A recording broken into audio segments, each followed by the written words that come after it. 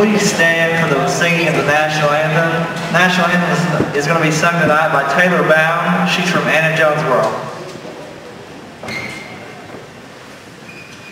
Oh, say, can you see by the dawn's early light